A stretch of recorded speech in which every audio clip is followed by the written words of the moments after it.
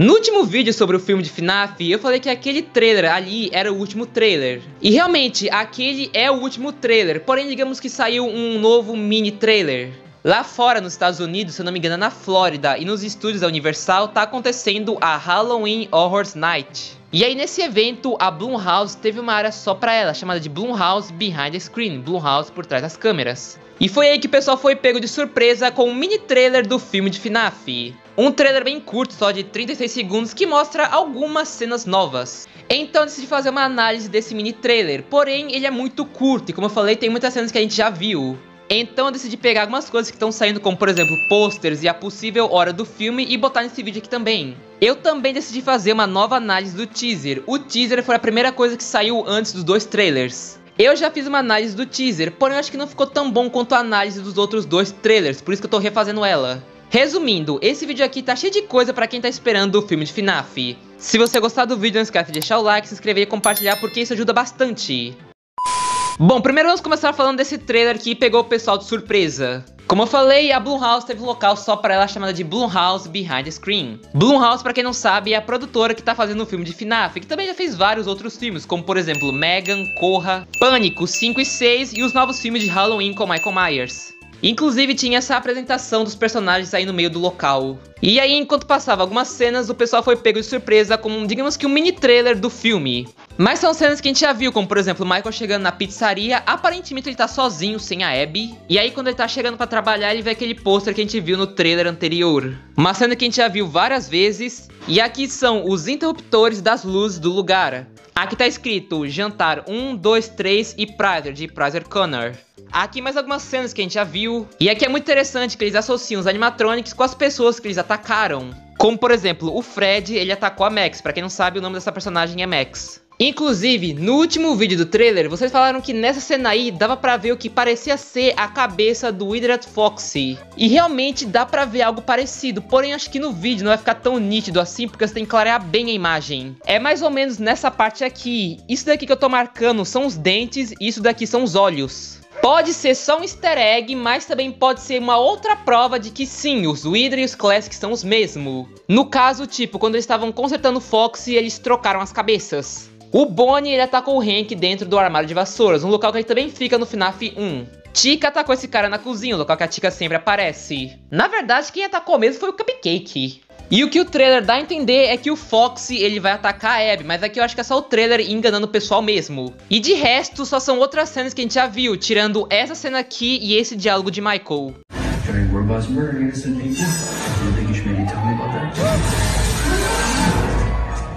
Bom, diga-se de passagem, esse mini trailer foi bem simples até, eu diria que é mais marketing mesmo. Falando agora sobre a duração do filme, quanto tempo o filme vai ter? Bom, aparentemente o filme vai ter 1 hora e 50 minutos. Bom, se realmente essa for a hora oficial para um primeiro filme de uma trilogia, o tempo tá bom. Muita gente falou que o filme teria 3 horas de duração, mas acho que 1 hora e 50 tá bom, 3 horas seria muito tempo de filme. Para quem não sabe, vai ser uma trilogia, ou seja, vão ser 3 filmes, vai ser começo, meio e fim, mais ou menos é assim que as trilogias funcionam. O filme de FNAF vai ser que nem os livros, vai ser canônico, porém uma timeline diferente. Vai ser uma história diferente, porém ela vai manter alguns elementos básicos dos jogos. Bom, agora falando algo realmente bem interessante. Vocês devem saber que vai ter um ator que vai fazer um personagem chamado Mike Younger, ou Michael Jovem. E aí tem essa cena aqui do primeiro trailer, que é o Michael olhando pra essa criança que tá no carro. Esse personagem aí se chama Garrett. E aí o ator do Michael mais jovem postou uma foto com o ator do Garrett com a seguinte legenda. Saudades do meu irmãozinho.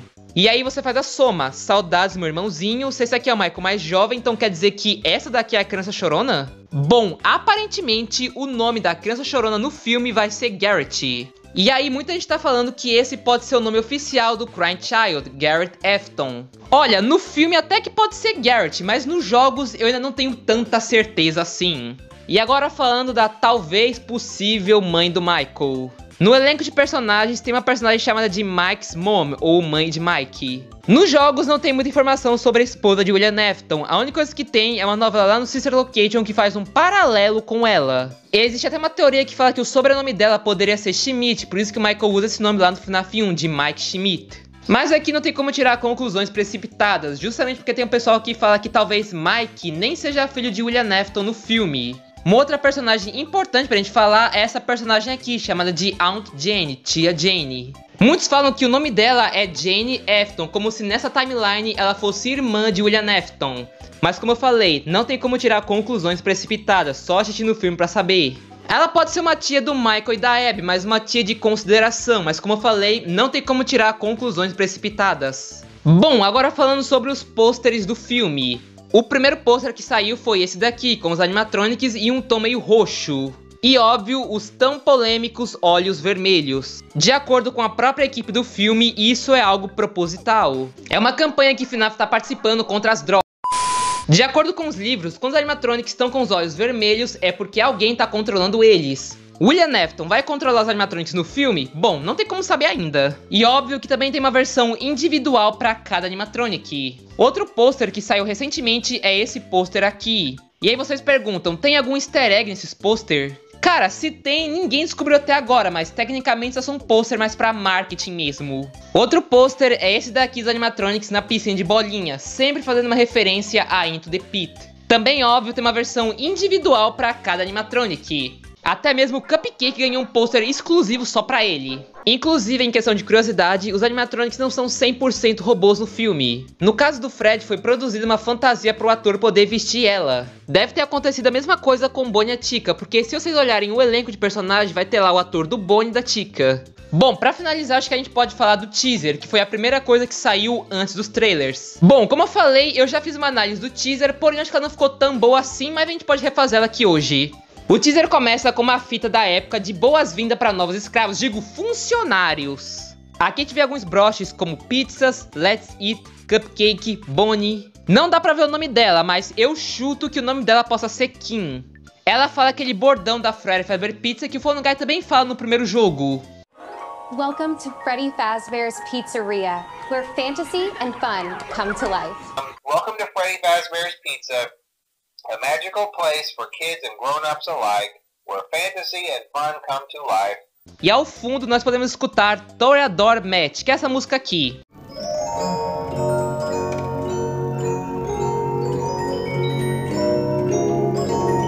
Ela aperta no botão Showtime e os animatrônicos começam a se apresentar no palco, uma referência ao FNAF Help One, que você pode fazer a mesma coisa.